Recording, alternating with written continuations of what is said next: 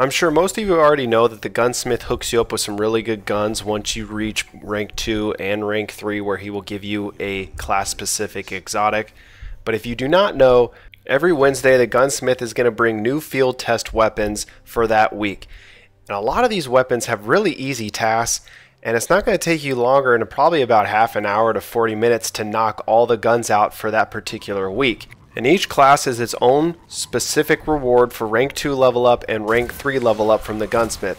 To get the guns once you get to rank 2 and rank 3, Banshee's just going to send you out. He's going to say get kills to gather data with a primary elementary, secondary elementary, whatever gun you're going after. It will tell you what to pick up. You just pop it and you have to get a certain amount of kills within that 30 minute window that the telemetry is active. Really easy, really straightforward and you really get hooked up with some really good guns. For the Hunter, rank 2 is Stillpiercer, which is a good sniper rifle, and I will show you that in this video. The rank 3 exotic reward, which is basically what this video is about, is the Ace of Spades, an exotic hand cannon for the Hunter, and again, it is class specific, so those two guns you can only use on your Hunter. Whereas the Titan, you get the Immobius shotgun at rank 2. At rank 3 you get the Fabian Strategy, which is an exotic auto rifle. Warlocks at rank 2, you get Susanoo, which is a fusion rifle. And at rank 3, the Tlaloc,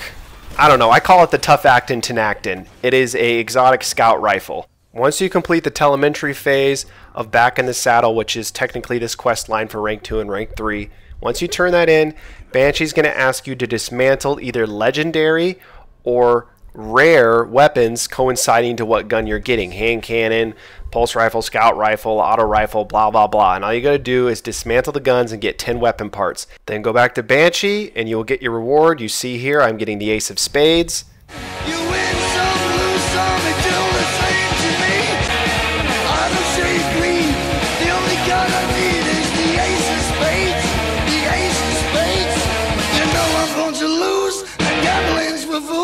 But that's the way I like it, baby. I don't want to live forever. The Ace of Spades is an awesome gun. I'm going to compare it to Fatebringer here. It is not as good as Fatebringer, but they are basically pretty much identical in stats. Rate of fire, impact, range, stability, reload, magazine. You see the radar stays active on the Ace of Spades which is always an awesome perk to have. And then precision kills move one round from your ammo reserves into the magazine, just like the Black Spindle. And when they ruined Black Hammer, that perk. On Fatebringer, obviously you had Outlaw and Firefly, which, you know, and Field Scout, you could have 13 in a mag oh, you could carry like 120 rounds. Okay, let's get away from Fatebringer. I miss it so much. I'm sure most of you probably do as well. The Ace of Spades also has Firefly, though, and it has perfect balance if you want to have more stability, and it also has reinforced barrel, which adds range. And I will show you that in action. And I did not really notice that much difference with the additive range. I personally, when I'm going to be rocking Ace of Spades, am going to have the stability perk active, but it's pretty much pick your poison. Here is Stillpiercer. This is the rank 2 reward for hunters. I have not done my Warlock yet, and I do not have a Titan, but I am very tempted to make a Titan because you're getting specific guns on the Titan, and let's be real, the freaking Thor hammer is awesome. It looks awesome, it sounds awesome, and I'm sure it's fun as hell. For Stillpiercer, though, it's a good sniper for not having to waste marks and just having to get to rank 2 with the gunsmith. And with how much you use your sniper in the raid, I would highly suggest Hunters. You go and get to rank 2 so you can get the Stillpiercer. It's a solid sniper rifle, again, for not having to waste any of your legendary mark. So here's some gameplay of the fully leveled up, and you can see the Maverick perk in action here. I get a precision kill, and my round from the 50, it was at 52, went to 51, and it put the mag, you see here, it's just putting the mag back in my clips so I'm never going to have to reload if I just am continuously getting precision kills. Now you're not going to continuously get precision kills but you know, just running around here, you're going to get a lot of precision kills, and you're basically never going to have to reload. So if you're at six, you're at five, you're at one shot, if you are getting precision kills, it is going to take it from your reserve, which is the Maverick perk on the Ace of Spades. It also has the last word, you know, cowboy twirl when you switch to it.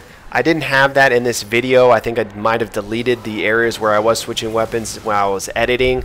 I don't know why, because I'm a nub.